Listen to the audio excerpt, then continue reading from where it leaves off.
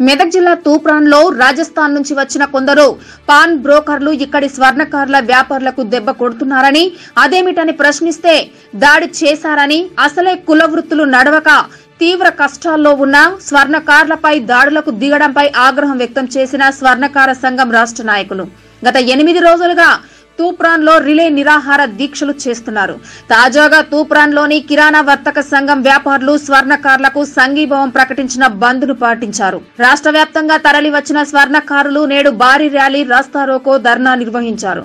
వెంటనే స్వర్ణకారునిపై దాడి చేసిన రాజస్థాన్ పాన్ బ్రోకర్ను అరెస్టు చేసి తగు చర్యలు తీసుకోవాలని ప్రభుత్వం కూడా స్వర్ణకారులకు స్వర్ణకార బంద్ ప్రకటించాలని రాష్ట్ర స్వర్ణకార సంఘం అధ్యక్షులు రాఘవాచారి డిమాండ్ చేశారు.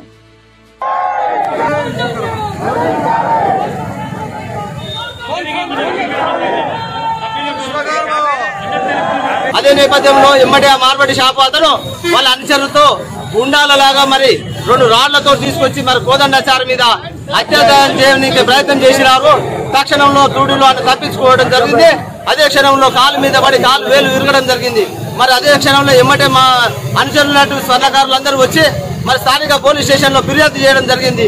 మరి గత వారం రోజుల నుంచి ఇప్పటి వరకు కూడా స్థానికంగా ఉన్నటువంటి పోలీస్ సిబ్బంది కానీ ఎవరే కానీ మార్వాడి వాళ్ళకు మర్యాద చేశారు కానీ స్వర్ణకారుల గురించి పట్టించుకున్న పాపన పోలేదు.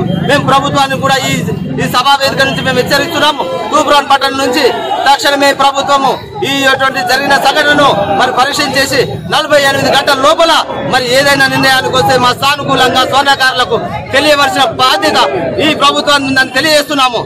పడడానికి ముప్పై మూడు జిల్లాల స్వర్ణకాలు కదిలి రావడం జరిగింది. ముప్పై మూడు జిల్లాలు.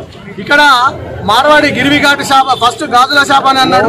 గాజుల షాప్ తర్వాత రాత్రి రాత్రి జ్యువెలర్ షాప్ ఓపెన్ చేశారు. ఓపెన్ చేస్తే మా స్వర్ణకారులు వెళ్ళి జ్యువెలర్ షాప్ ఎట్లా ఓపెన్ చేసాం అంటే ఆ స్వర్ణకారుని హత్యా ప్రయత్నం చేయడం జరిగింది.